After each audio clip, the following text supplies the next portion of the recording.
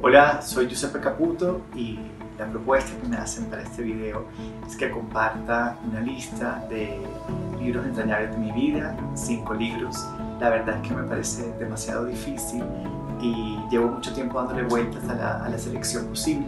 Entonces lo que decidí hacer para, para que esta tarea sea más fácil es acotar el tiempo de estas lecturas que voy a sugerir y más bien compartir libros que en el último tiempo, en los últimos dos, tres años, eh, han sido pues esenciales para mí, que estoy seguro que más adelante, cuando mire hacia atrás, pensaré en estos libros como lecturas que han sido pues, definitivas en mi vida. Eh, quería compartir, eh, para empezar, dos libros de Annie Ernaux, Pura Pasión y No ha salido de mi noche. Pura Pasión parte de la historia, de, de, la, de la relación de Mantaco, que la autora tiene con un diplomático de Europa del Este. Sin embargo, el libro no es sobre la historia en sí, sino sobre la experiencia cognitiva de esta mujer durante esta pasión. Eh, hay, una gran, hay una reflexión sobre la espera a lo largo de, de, todas las páginas y eh, la espera es presentada por la autora como, como una característica pues, esencial de esta pasión.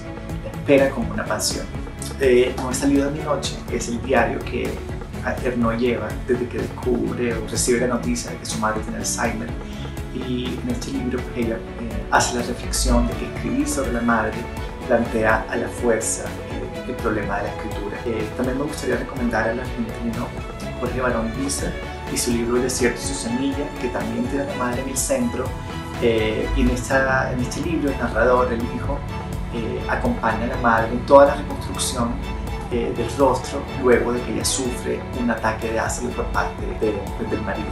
Entonces, un libro además que a partir de las estructuras gramaticales del alemán y del italiano presenta una propuesta estética como un cocoliche muy, muy, muy interesante, entonces también recomendarlo. Hace poco, este año, inicio de este año, leí Carta Larga sin final de Lupe Rumazo, también a la madre en el centro.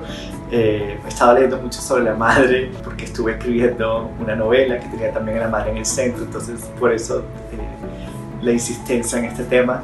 Y en este libro, eh, esto es una carta que ella escribe, Lupe Rumazo, a su madre, cuando ella muere. En un pasaje ella empieza diciendo, mamá ha empezado la orfandad. y entonces escribe, plantea más bien el dolor porque ella sabe que si deja de escribir sobre ella, de alguna forma será volverla, volverla a perder. Entonces, por eso el título Carta larga es un final.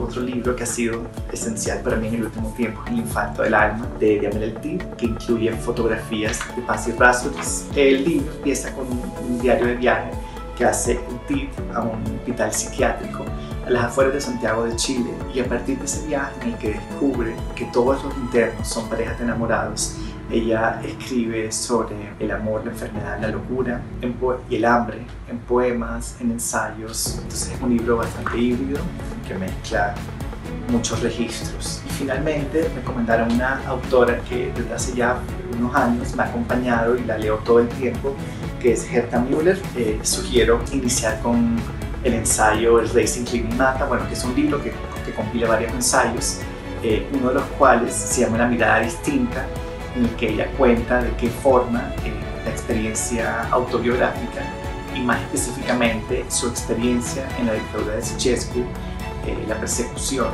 que sufrió por parte del, servicio secreto de la dictadura, moldeó no, sobre, no solo también este libro, hoy hubiera preferido no encontrarme a mí misma, todo lo que tengo lo llevo conmigo, y La piel del zorro. Eh, son libros que también, eh, digamos, que tienen en el centro a sujetos que están siendo aplastados por un Estado totalitario. Entonces, esas son mis recomendaciones. Como les decía, son lecturas recientes. Recientes quiero decir en los últimos 5 o 6 años. Y y acotar el tiempo de estas lecturas también me facilitó hacer esta lista. Entonces, muchos saludos y bueno, espero que disfruten esas lecturas.